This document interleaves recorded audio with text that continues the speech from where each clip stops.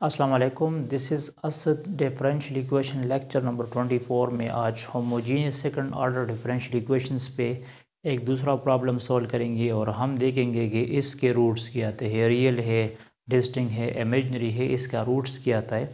तो मैं आपको कह चुका हूँ कि ये जो प्रॉब्लम है, इसको आप लोग इस तरह भी लिख सकते हैं D square Y by D X square second order homogeneous differential equation है D Y by D X और प्लस ट्वेंटी फाइव वाई आप लोग लिख सकते हैं। ठीक है?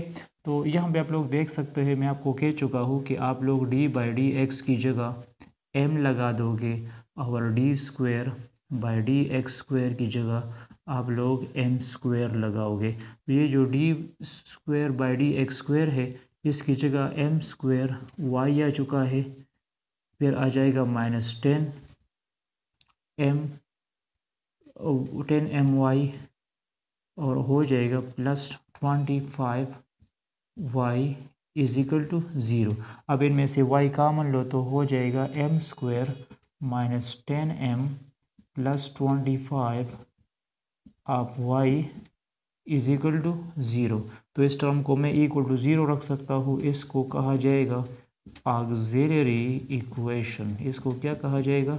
ऑक्सिलरी इक्वेशंस कहा जाएगा। अच्छा इसको मैं फैक्टराइजेशन से भी कर सकता हूँ बाय फैक्टराइजेशन और इसको मैं कंप्लीटिंग स्क्वायर मेथड पे भी कर सकता हूँ। और ये परफेक्ट स्क्वायर है A minus B whole square फार्मूले से भी मैं इसको कर सकता हूँ। अच्छा बाय फैक्टराइजेशन इस तरह मैं कर सकता हूँ। Five five are twenty five मतलब इसकी जगह मैं लिख दूँगा minus five M minus five M minus five minus five से माइनस टेन आता है। और अगर इसको मैं मल्टीप्लाइड करूँगा तो फिर ये ट्वेंटी फाइव होना चाहिए। ये फैक्टराइजेशन की मेथड है।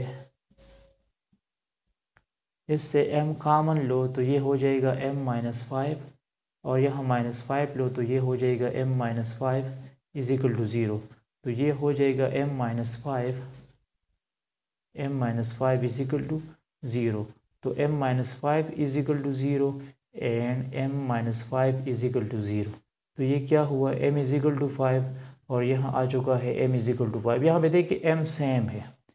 M हमारे पास इक्वल है। एक तो ये रियल है। रियल प्लस इक्वल भी है।